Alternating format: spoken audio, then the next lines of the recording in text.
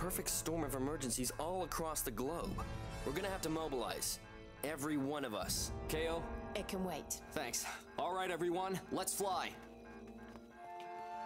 Next time, kid. I just hope I'm not too late.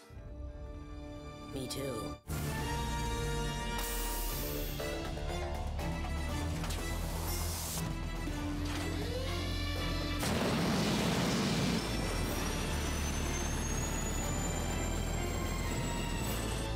Okay, everyone, listen up. Thunderbird 1, high winds have trapped a climber on Mount Haoshan. He's taken shelter in a crevasse but can't get down. FAB, Thunderbird 2, you've got a cave collapse nearby the lead. They need excavation and heavy lifting gear. I'm on my way. Thunderbird 3, I'm sending coordinates now. A transport shuttle with a crew of two has malfunctioned. You need to kill the engines and tow them back to orbit. Piece of cake. Thunderbird 4, a deep sea submersible is sunk in a trench off Saipan. Passenger status unknown. Load up what you need, Thunderbird 2. I'll launch from the island. FAB.